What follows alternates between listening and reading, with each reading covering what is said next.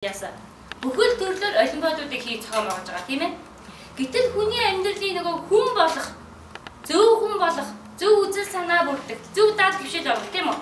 Тэр зан чанартай холбоотой уралдаан тэмцээн хаач байдаггүй тийм үү?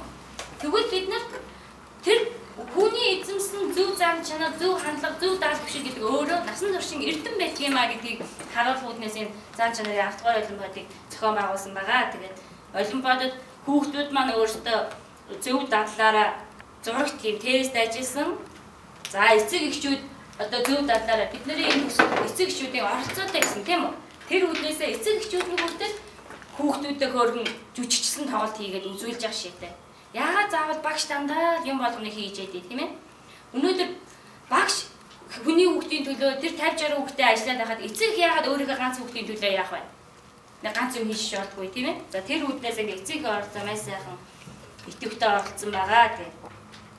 За гэг мэтлээ ингээд сайн үг төсөл маань маш амжилттай осоо. Тэгээд сайн үг төслийн маань тайлан аа энд ингээ гарсан байгаа тийм. Тэгээ энэ тайлан дээрээс ганц нэгэн жишээ ярих юм бол одоо нэг ялангуяа залуу ээжүүд хүүхдийгээ за миний хүү тоглож гэж хэлчихэл би фэйсбүүкээр их ордог байсан завч хөлөөнд. Харин одоо сайн үг төсөл хэрэгснээр би одоо хүүхдээ илүү анхаарлаа хандуулж фэйсбүүкээр орхоо байсан гэж байгаа байхгүй. Фэйсбүүк орох хугацаагаа богиносгоод намаа ингээ уншдаг болсон гэж байгаа шээтэй. За зарим одоо нэг ялангуяа эрэгтэй хүмүүс тийм ээ захын одоо хороолоор амьдарч байгаа хүмүүсүүд гаднаас орж ирээд ажлынхаа хуцыг солино гэж байдгүй. Шууд орон дээрээ хөвтөд удирдлагаа яриа суучдаг. Тэгвэл нөгөө хүүхдүүд нь аавыгаа хувцсыг солиулдаг болсон байх шээ Гайхалтай бас тий. Дээрээс нь эцэг эхчүүд одоо оройгныхоо хоолыг идэх тэрийгэ тойр суухдаа зурагт үзэхгүй гар утсаар ярихгүй гэсэн ийм дүрмийг гэртээ боловсруулсан байх шээ Тухайн сард хийх ажлаа хүүхдүүдтэйгээ хамт төлөвлөдөг болсон байх шээ Нэг ээж бүр битсэн байсан л та. Бид нэр одоо кино театрт кино үзэн тэ тийшээ салхинд гарна гэдээ бид нар 9 үзүүлэлтээр тухайн сарынхаа төлөвлөгөө гаргасан байгаа хүүхдүүдтэйгээ ярилцаад гэсэн ийм одоо сайхан үр дүн өгсөн байгаа. За хүүхдүүдийн хувьд ямар үр дүн хүрсэн байх юм бэ? За нэг ялангуяа 4 5 настай хүүхдүүдээ одоо энэ манай төсөлд хамрагдсан учраас маш сайхан үр дүн гарсан. А хоёр жоохон дүүгээ байнга шоглоод юмд булаагаад уйлуулаад байдаг хүүхэд сайн хүүхд төсөлд оролцсноор дүүнэрээ шоглохоо байсан. Яг би сайн хүүхдтэй. Харин түр дүүнэртэй тусалдаг, гутлыг өмсүүлдэг те, хувцсыг өмсүүлдэг болсон гэж байгаа байхгүй? За түүнээс гадна сайн хүмүүстэд одоо маш олон өөрчлөлтүүд гарсан байгаа. Тэр болгоныг ингээд сайн өвчлөлийн тайлбар юундээ интернетээр тавигдсан байгаа та бүгд бас сонирхож болно тийм. Тэгэхээр энэ болгон бол хамтын хүчээр ийм сайхан үр дүнд хүрсэн юм аа тийм. Тэгэхээр түүнээс ганц хүмүүс хизээж ийм их үр дүнд хүрч чадахгүй шүү дээ тийм. За тэгээд аа энэ сайн хөтлөөрийн бас агуулгын талаар та бүхэнд хальт өөртөх юм бол бид нэр хүүхдээ уйлж болохгүй, уйлж болохгүй нэг ялангуяа эрэгтэй хүүхдийг эр хүн уйлдгүй гэдэг тийм. Тэгвэл өнөөдөр бид нэр энэ хүн л юм чинь уйлж болно үстэй. Өнөөдөр хэрэг нэг ялангуяа хүүхнүүд бид нар уйлахгүй юм бол бидний дотор багтарч өгнө. Заримдаа одоо уйлж те дотроо сайхан онгойлгоор ярьдаг. Магадгүй заримдаа нөхөр харахаар яа юу гэж байсан гомдоцсон уу яатсан те гэдэг ингээд өмнөөс бүр ингээд сандраад байдаг те. Гэтэл үгүй бид нар угаасаа сэтгэл хөдлөл мэдрэмж байгаа юм ил гаргаж явах ийм тэгжээж бидний сэтгэл онгойдог бусадтай ярилцжээж бас онгойдог ч юм уу те ийм онцлогтой байдаг. А тэгвэл одоо бид нар хүүхдүүдэд юуны тухай ярилцаж яаж хүүхдүүдэд одоо энэ сайн хөтөлбөрөөрөө ямар үзэл санаа, ямар зан чанар, ямар дадлыг эзэмшүүлэх гээд байгаа гэх юм бол ганцхан эхний энэ дүрмээс ярихад одоо бид нар хүүхдтэйг ингээ ярилцсан тийм харилцаа ярилцсан. За хүүхдүүд юу хийж гэн, яаж гэн, энэ хүүхдийг уйлж байгаа гэдэг хүүхдүүд төвгүүхэн мэдж байгаа тийм ээ. Хүн хүн ямар үед уйлж болдгийг. Тэ? Ямар үед уйлж болох? Хүн ер нь уйлж болохгүй мó болно шүү дээ, тэ? А хүүхдүүдийн хувьд болохгүй гэсэн хандлагатай. Тэгвэл болноо болно. Харин ямар үед уйлж болох вэ гизэн нөөсөд уйлж болно, толгойн өвдөд уйлж болно, газар унаад өвдгийн шалбарцсан бол уйлж болно, тэ? Болно шүү дээ. Хүн ямар нэгэн байдал өвдөлт мэдэрсэн бол уйлж болно. Харин ямар нэгэн одоо шалтгаангүйгээр тэ гэртээ байж ийм сага халуун үнжлөөсөө сэржээж магадгүй тэр гоё эрдэм ном үздэг сургууль цэцэрлэгөө явах гэж найзуудтайгаа тоглодог тэр гой тангим руугаа явах гэж уйлах нь зөв буруу юу те ямар нэгэн шалтгаангүй уйлвал муу за те ямар нэгэн шалтгаангүй хүн Уйлвал муу зан за хүн өглөөс ирээд юм бол өдөржин тааламжгүй уйдгартай байдаг. А өглөөс ирээд инээмсэглэх юм бол өдөржин баяр хөөртэй байдаг. Чи яахыг хүсэж юм чи гэдэг юм уу те? Тэгэхээр хүүхдүүд мэдээж хэрэг баяр хөөртэй гоё байхыг хүсэж шүү дээ. За тэгвэл бүгдээрээ энэ ярилцсан зүйлээ дүрэн болгож гаргая. Ямар дүрэн байж болох вэ? Тэ? Сайн хүүхдүүд өглөөс ирээд инээмсэглэх гэдэг юм. За тэгэхээр энэ нөгөө үзэл санаа гэдэг юм байна уу? Нөгөө хүүхдүүд суулгах гэдэг хандлага гэдэг юм байна уу? Бай тэ? Ягаад гэвэл Хүн өглөөс ирээд баяр хөөртөөс ирэх юм бол өдрийн турш баяр хөөртэй байна гэдэг үзэл санааг өчөж байгаа. Магадгүй энэ бидний нөгөө одоо нэг илгууя монголчууд дутагдаад байгаа нөгөө эерэг сэтгэлгээ тий эерэг сэтгэлгээ цаана явж байгаа жишээтэй тийм ээ. За тэгээд дөрмийн сэтгэлгээ хөгжсөн хүүхдүүдэд нөгөө нэг баахан юмыг сануулад авахгүй ганцхан дүрмээ л цээжлүүлж чинь тийм үү? Бүгд дүрмээ хилэнгүүдээ бүх юм буцаагаад явах нь сэргээ жишээтэй. За тэгээ хүүхдүүдийн хувьд одоо эцэг эхчүүдийн харилцаан дээр нэг гоё одоо гарсан өөрчлөлт юу гэхээр хүүхдээ буруу юм хийх гэхээр нь Минийгөө нөгөө сайн үг чи яадаг вүлээ гэж асуудаг гинэ. Тэнгүүд өө тий сайн үг тэгдэг гэж нөгөө буруу хийгээ болдог ч юм уу. Бүр маш одоо нэг ялгаа 4 настай хүмүүс бол маш их тийм хөдөлгөөнтэй байдаг л да. Байгаль энд очиод иргэдэг юм үсэж идэг. А тэгвэл байгаль энд гүүгээл зам өндлөн хүртэл ганцаараа гараад гүйжигдэг байсан хүн нэг өдөр ээжигээ ээжээ би сайн үгдээ сайн үгд ээжээсээ хөтөлж гарантай гэдэг ингээд шууд хөтлөө гарсан гэж байгаа байхгүй тий. Гэх мэтлэн Нөгөө болон болохгүй сайн муугийн талаар хүүхдүүдэд ярилцаад өгөнгүүт хүүхд чинь хүнлэн чинь яг нь маш сайхан ойлгож хүлээж аваад нөгөө дүрмээ амьдралдаа хөвшүүлээд ажиллаж байгаа шишээтэй тийм ээ. Гэх мэтлэн ингээд зөндөө олон сайхан үр дүнд хүрсэн байгаа. Тэгээд бас энэ үр дүнд хүрсэх тэр үндслэл нь юу юм бэ гэдэг талаар би та бүхэнд бас нэг жоохон төвшил хийгээдгий. За бидэнд одоо харьцангуй гайгүй цаг байна тийм. За тэгэнгүүт бүгдээр за би таад энэ нэг үзүүлэн байна тийм ээ. За энэ болохоор би яг дөөрэж хийсэн байгаа. Дэлхийн нэг маш алдартай үзэсгэлэн нэг хүн ингээд маш олон тийм эвдэрхий цагаар тийм үзэсгэлэн гаргасан байгаа. Тэгээд тэр одоо үзэсгэлэндээ зовлон бэрхшээл гэдэг нэр өгсөн байна. За тэгвэл яагаад зовлон бэрхшээл гэж нэр өгсөн гэж та нар бодож байна? Яг гоо тэр дэлхийн том үзэсгэлэнд оролцсон бүтээлийг би өөрийнхөө хэмжээнд яах нь жижиг болгоод хийцээ монголчтай. За тэгвэл энэ баахан эвдэрсэн цагнууд байна те эрэгтэй эмэгтэй хэмгэрхий цагнууд. Зовлон бэрхшээл гэсэн нэр нэрт ор энэ сэдвүүд ор. Та нарын юу бодогдож байна вэ? За надад саналаа болцооч. За яагаад зовлон бэрхшээл гэж нэрлсэн юм бол гэж бодож байна. За та саналаа хэлээч. За энэ үзэсгэлэн үзээ та юу гэж бодох вэ?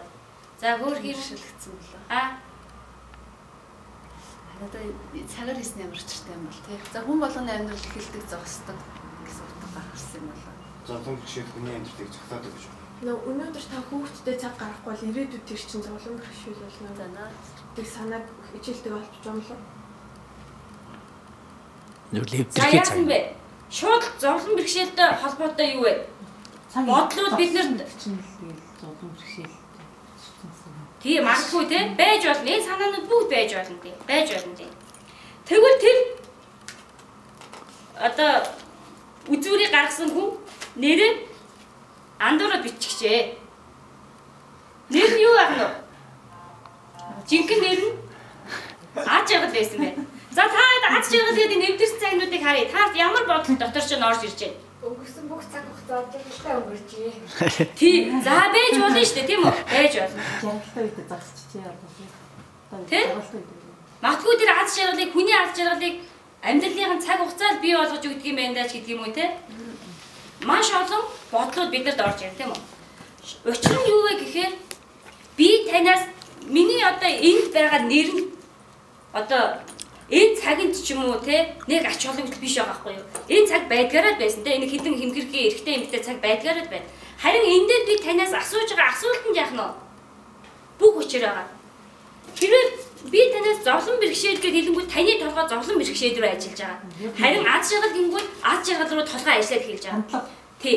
Тэгвэл өөрөөр хэлбэл бид нар хүүхдээ яах гээд байгаа юм гэхээр юуны тухай асууж, юуг ярилцаж, юуг сэтгүүлж, юуг бодвож тарих толгойг нь яаж ажиллуулах гэдэг байгаа тийм. Бид нар хэрвээ одоо аа яг энэ одоо жишээгээр юм бол тийм ээ. Хүүхдүүдээс юуг асуудаг вэ? Хүүхдүүдтэйгээ юуг ярилцдаг вэ? Таны санаа бодол юунд төвлөрдөг вэ, тийм ээ? Тэрэл зүйл чинь таны хүүхдийг яах нь өдөөж бодуулж сэтгүүлж байдаг байна тийм үү? Тэгвэл бид нар хүүхдтэйгээ ярилцах юм аа, бодуулах, сэтгүүлэх юм аа хүртэл одоо бид нар учиртайгаар яах нь вэ? Хүүхдтэйгээ толгойд бас хамаагүй муу зүйлийг ч юм уу тэр нөгөө болтгүй бооги гэдэг шиг тийм ээ. Тарих оюунд нь тийм програмчж болохгүй нэ шүү дээ тийм үү? Хорвоо ертөнцийн болдог болдгүй зүйлүүд зөндөө олон байдаг. Юу нь сайн, юу юм уу, зөв буруу бүхэл зүйлийн талаар ярих хэрэгтэй байгаамаа тийм. За нөгөөдөөгөр биднэрт одоо ингээд тогтсон нэг сөрөг хандлага бол юмыг нэг үзгээс хараад шууд яах нь вэ? Шууд шүүмжлээд буруутгаад эхэлдэг.